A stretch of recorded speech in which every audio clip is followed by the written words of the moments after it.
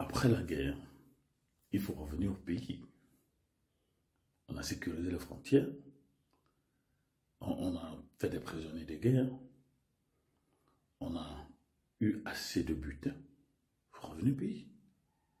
Alors, nous sommes dans 1 Samuel 18 et on nous dit, verset 6, comme il revenait lors du retour de David, il faut voir, la presse nationale commence par mettre un éditorial le nom de David.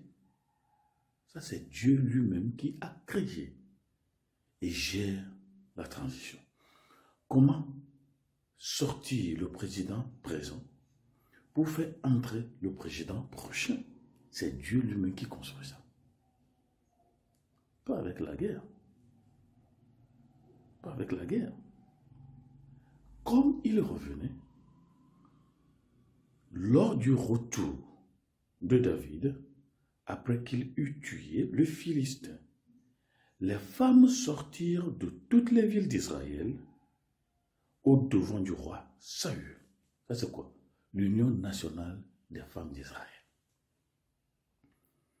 Qui a été engorgée, gorgée, débordée par la cellule de chaque ethnie de l'Union des femmes nationales de l'Israël. Les femmes de nos nations qui veulent le bien, qui veulent chanter leur enfant au devant du roi Saül. Les femmes de nos nations. Qu'est-ce qu'ils vont dire?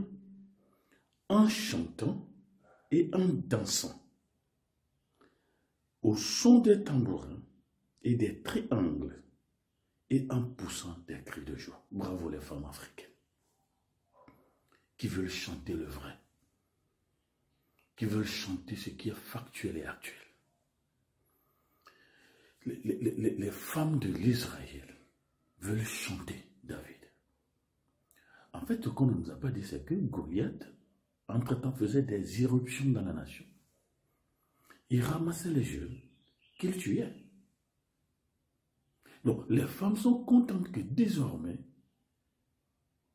nos jeunes ne seront plus tués. L'avenir de la nation ne sera plus tué. Les jeunes nations ne seront plus tués, égorgés, froidement abattus. On chante le vainqueur. C'est comme Sadio Mané qui a gagné la canne. Et on, prend le trophée, on rentre au pays. Et arrivé à l'aéroport, il y a eu une marée humaine. Oui, le pays a gagné. Mais qui est le meilleur buteur? Le pays a gagné, mais qui, qui, a catalysé notre victoire? David.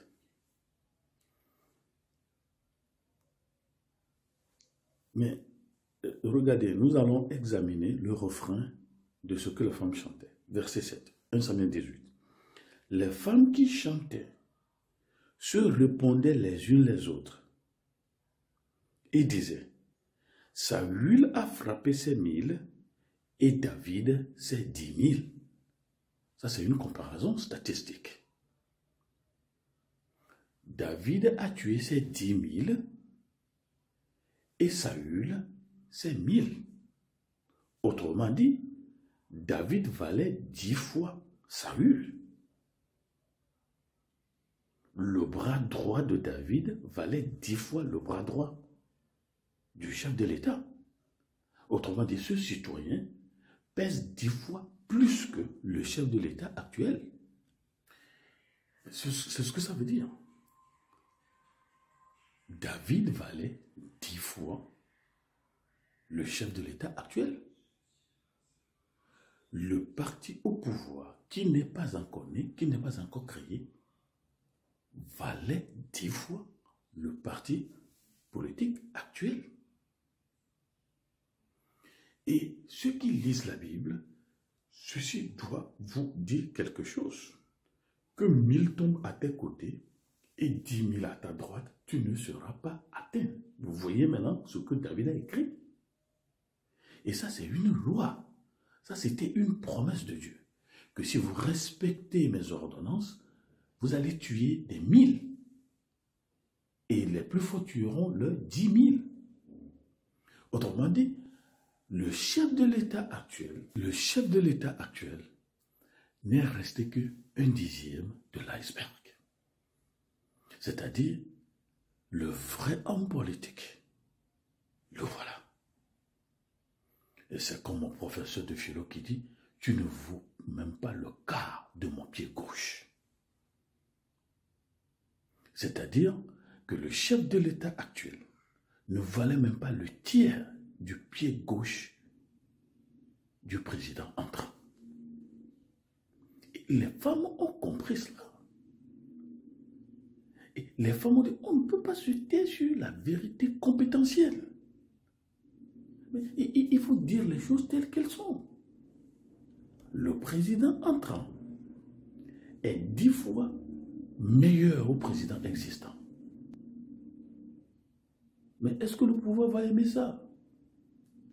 Est-ce que le gouvernement sera content que celui qui fait déborder les boulevards et les avenues de la nation, celui qu'on crie sur, tous les médias, les presses, les magazines, les journaux, est-ce que le parti au pouvoir sera content? Et si vous étiez à leur place, serez-vous content? On dit le refrain, le refrain de la chanson républicaine, on dit le roi a tué ses mille et le non-roi a tué ses dix mille. Autrement dit, pourquoi est-ce que vous êtes même roi? S'il ne fallait tuer que mille, alors qu'il y a un citoyen qui s'est tué ses dix mille. vous êtes chef de l'État disqualifié. Il y a un autre candidat, prometteur. Comment on le sait? Il a de la compétence, non seulement militaire, mais il a de la compétence sociale. Il a de intelligence. Il sait qu'il ne faut pas tuer des gens pour prendre le pouvoir. Je n'ai pas besoin de ça. Les femmes sont contentes. C'est-à-dire, leurs enfants ne vont plus mourir. C'est-à-dire, le chef de l'État lui-même s'est tué les ennemis de la nation. bon, il est suffisant, il est autosuffisant militairement. On ne va plus faire courir nos enfants devant les chats du roi. Et alors, est-ce que le gouvernement sera content? Verset 8 de 1 Samuel 18 ne va pas euh, va nous le dire. Saül, le chef de l'État, fut très irrité et cela lui déplut. Oui, les femmes très fertiles en chansons allusionnistes ou allusoires. Ça crée souvent des problèmes, mesdames. Et quand, surtout, ils sont dans des maisons de location, des matins, on chante des chansons Apparemment, vous ne savez à quoi coller de telles chansons, mais la dame même sait ce qu'elle est en train de dire. Et curieusement, il y a des femmes chrétiennes aussi qui s'amusent à utiliser les chansons d'adoration, les chansons de louange, comme des guerres inventives, comme des guerres allusionnistes. On, croit louer le Seigneur en insultant des gens. Répondez-vous. Les chansons d'adoration et de louange ne sont pas là pour insulter des gens. Mais ici, le refrain du cantique, de la victoire, de la célébration de David et de l'indépendance de la nation, c'est que le pouvoir actuel a tué mille et le pouvoir qui n'existe même pas a tué dix mille. Que faut-il faire? Voilà une nouvelle équation politique de la nation. Qui va régler Dieu va régler le roi est très mécontent. Pourquoi? Il a expliqué. On en donne dix mille à David et c'est à moi que l'on donne les mille.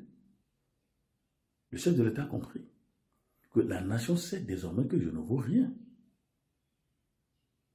Bon, on ne peut pas dire qu'il ne vaut rien, mais je ne vaux pas autant qu'on pensait. Je ne vaux pas autant qu'on croyait. Je ne vaux pas autant qu'on espérait. sur le plan politique, sur le plan économique, sur le plan social, ce qu'on attendait de moi. C'est-à-dire les promesses, nos promesses pendant les campagnes présidentielles n'ont pas tenu. On n'a pas réussi à goudronner les routes.